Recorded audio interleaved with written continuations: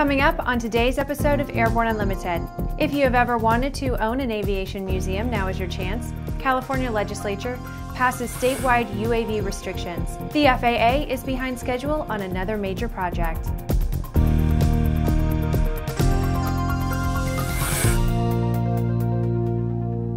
I'm Bree Cross. It is August 27th, 2015, and this is Airborne Unlimited. You won't see us run very many for sale stories on Airborne Unlimited, but this one caught our attention. The collection of airplanes at the Golden Wings Flying Museum in Blaine, Minnesota is for sale, and by the collection, owner Greg Herrick means the entire collection as a complete package. We first learned about the sale from Rich Davidson's Nordo News blog. According to the Golden Wings Flying Museum website, the collection features such rarities as NASA's first aircraft, a stainless steel amphibian, and the first airplane in which the Pope ever flew. One of six trimotors in the collection is a 1927 Ford trimotor. The full ground up restoration is America's oldest existing airliner. Many of the aircraft are airworthy, while nine are in various stages of restoration, according to the website. According to Nordo News, Herrick does not want the collection sold piecemeal, so potential buyers are asked not to get in touch unless they are genuinely a qualified buyer for the entire collection of airplanes. Once again, we see that because of the lack of FAA regulations regarding UAV operation, we are ending up with poorly thought out laws being placed into effect by states and local municipalities. The California legislature has just passed a bill that will prevent unmanned aircraft from flying at an altitude below 350 feet over any private property in the state unless permission from the owner is received. Because the recognized cap on UAV operation from the FAA is 400 feet, this law makes it very difficult to comply with the rule for flying over any private property in California, even with permission. Brian Wynne, the president and CEO of the Association for Unmanned Vehicle Systems International, says this law will have a chilling effect on the emerging industry, which can create tens of thousands of jobs and have a $14 billion economic impact on the state. Wynne also points out the Supreme Court has consistently held that only the FAA can regulate airspace and the property rights do not extend into the sky. Wynne urges California and other states to wait until the FAA completes its rulemaking process before passing legislation that may run contrary to federal laws. However, California has now taken the lead in passing bad UAV use law. After the break, the FAA cannot seem to come up with a pilot database. There's a difference between charting a steady course and pushing for the ceiling. And for nearly a century, Hartzell Propeller has been defining that difference. It's in our passion for engineering and research and our dedication to testing the limits of performance. We are built on honor. We are Hartzell propeller. The KSN 770 is an affordable WAAS-enabled integrated MFD with a flexible hybrid user interface from Bendix King. Get your fingers on the 770's perfect blend of touchscreen and hard buttons. Easily control your GPS navigation, Navcom, weather, traffic, and terrain in any condition. For more information, go to bendixking.com. Redbird is quickly becoming the industry standard for flight training. Since Redbird introduced its revolutionary FMX in 2007, colleges, universities, and flight training operations around the world have integrated Redbird products into their curriculum. It's time to discover what Redbird can do for you. Join the migration. AML's patent pending wireless induction charging system eliminates confusion over those charging cables, cuts down cockpit cable clutter, and allows you and your passengers to fly cordless and eliminate the cable nightmare. www.aviationmodificationleaders.com. Welcome back. If you have a story suggestion for Airborne Unlimited, Aero TV, our website, or podcast, just email to news-spy at aero-news.net. The FAA Inspector General's Office has released a report requested by the leadership of the House of Transportation Committee, indicating the agency has not done enough to emphasize the significance of obtaining comprehensive pilot records and to develop a centralized database. The 2010 Airline Safety and Extension Act mandated that the FAA create a pilot records database to ensure pilot records are retained for the life of the pilot and that aircraft carriers review those records when making hiring decisions. The report summary says in part, quote, the agency does not expect to issue a related rulemaking until 2017, and the database will likely not be fully implemented until more than a decade after Congress mandated its creation in 2010. End quote. In the meantime, air carriers, in large part, do not have all relevant pilot records available to review when evaluating pilot applicants for job positions, and many pilots have serious concerns over their privacy rights. It's Thursday, which means that it's time for an Aero Community Update. Over the last few weeks in this segment of Airborne Unlimited, we've been talking about the Airborne Partnership Initiative, we call it the API.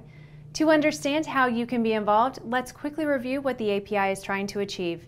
The API is a synergistic partnership with ANN and others in the industry to offer more exposure, a greatly lessened strain on individual resources, and the advantage of starting out with what is already a solid professionally produced web TV program, Airborne Unlimited, but most of all, raising the bar in the quality and distribution of aviation news and information.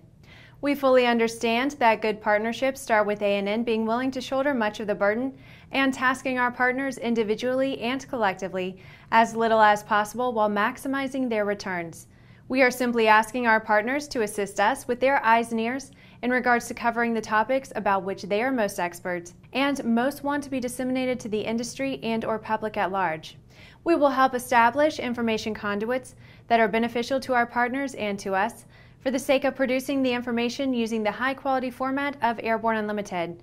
An example of this capability was demonstrated recently with our AirVenture Innovation Preview Series produced in partnership with EAA at AirVenture 2015. Put more simply, our partners just have to furnish us with solid information, ammunition, and we will fire the shot so that all who care about aviation can hear and see it. For more detailed and complete information about being an API partner, Please touch base with ANN CEO Jim Campbell at jim at aero-news.net. After these messages, at least part of a space shuttle will fly again.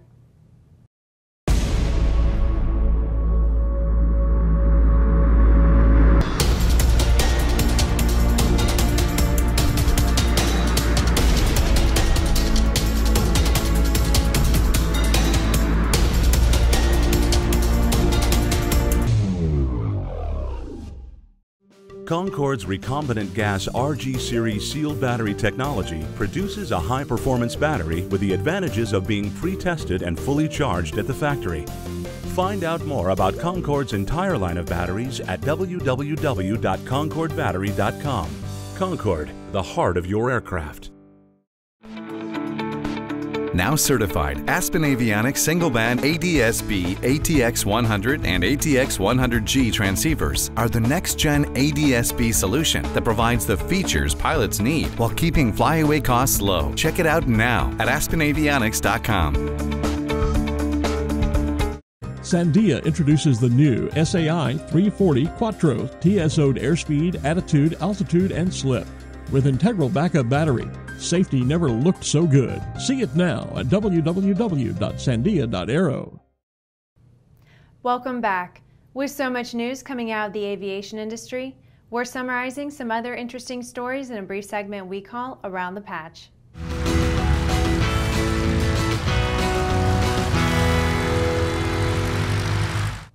NASA engineered four water tanks and one waste tank from the Space Shuttle Endeavour on display at the California Science Center. The serviceable water tanks will be put to good use on the International Space Station. The Jacksonville Aviation Authority is the fixed base operator at Herlong Recreational Airport, located in Florida. The FBO has always been referred to as Herlong Aviation, but will now be rebranded to First Coast Flight Center to more effectively market its services. The FAA issued an STC allowing GoGo to launch GoGo's 2KU Next Generation Satellite Connectivity Service.